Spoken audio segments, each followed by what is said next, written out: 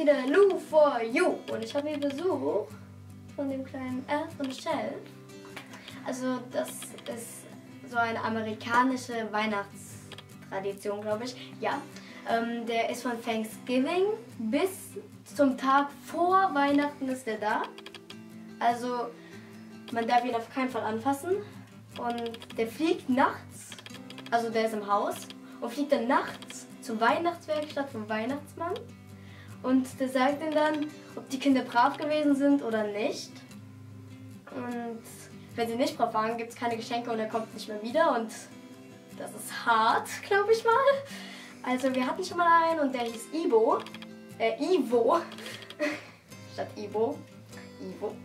Und ähm, wir haben Geschenke bekommen. Das fand ich sehr nett von Ivo. Also, ähm, und ich mache eine Verlosung. Und ich verlose diesen Elf von Shell.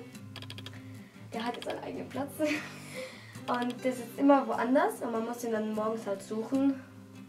Das letzte Mal hatten wir ihn einmal, glaube ich, fast gar nicht gefunden.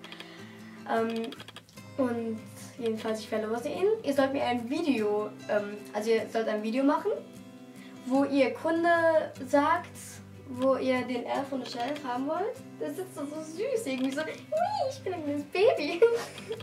also, ähm, warum ihr den haben wollt, da sollt ihr Gründe liefern. Und das schreibt ihr mir dann in die Kommentare, dass ihr ein Video gemacht habt. Dann gucke ich mir das selbstverständlich an. Das Video mit den besten, lustigsten und verrücktesten Gründen. Der, das Video gewinnt dann den Elf und Shelf. Das ist total putzig, ernsthaft. Und es macht total Spaß, den auch morgens dann zu suchen und zu finden und ihm einen Namen zu geben. Natürlich, wenn man ihn das erste Mal sieht, muss man ihm einen Namen geben und ihn adoptieren. Dann gehört er zur Familie. Wie gesagt, unsere hieß Ivo. Das ist ein süßer Name. Also die Abenteuer von Ivo, von unserem Ivo, kann man auch ähm, auf dem Instagram-Account von meiner Mutter ähm, bewundern.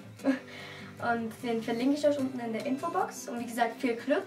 Also macht wieder Videos, wäre schön. Ähm, und wir sehen uns dann wieder, wenn es heißt Blue for You.